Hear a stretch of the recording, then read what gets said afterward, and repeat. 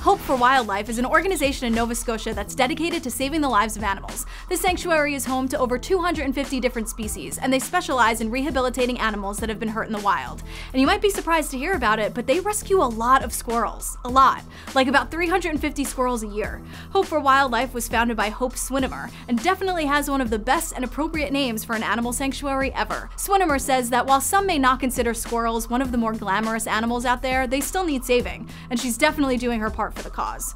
Most of the squirrels that come in suffer from head trauma caused by unfortunate run-ins with cars or other animals. Swinimer says you can tell when they're not doing well because the squirrels will let you pick them up and hold them, and a wild squirrel who's on the up and up would never let you do that. Swinimer takes these little guys in and she and her team nurse them back to health. The goal is to help the squirrels and other animals get better so they can go back into the wild. But in the meantime, the different species recuperate in spaces made just for them. From muskrats to owls and porcupines to bobcats, Swinimer is helping save over 3,500 animals a year, and they're definitely lucky to have her.